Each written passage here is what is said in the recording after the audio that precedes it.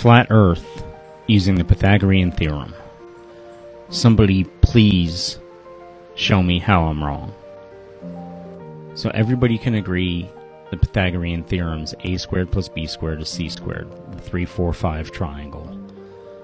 But if we overlay a circle on that, the 3, 4, 5 triangle with the radius of 4, the hypotenuse is 5, the radius of 4 from the hypotenuse of 5, and you're left with a remainder of 1. Let's plug in 2,451, 3,963, and the hypotenuse is 4,659 subtracting out the 3,963, and we get 696. So then we have to, that 696 miles is the drop from flat Earth to curved Earth. The interesting thing at this, 2,451 is the distance in miles from Los Angeles to New York. And if we look at the time from travelmath.com, four, four hours and 54 minutes at a constant 500 miles an hour.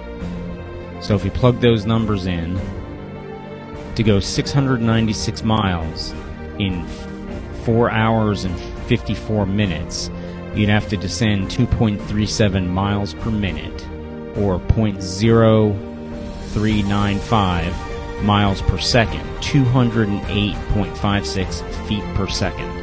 At a cruising altitude less than 8 miles, you have to descend 7 almost 700 miles when you're only flying 7 miles or 8 miles. Is there any commercial pilot, any fighter pilot, anybody that's descending that distance, 208 feet per second, for 4 hours and 54 minutes? Has anybody experienced that? It's ridiculous. It's ludicrous. So why can't we just admit the Earth is flat and get on with our lives? It's about time the earth is flat.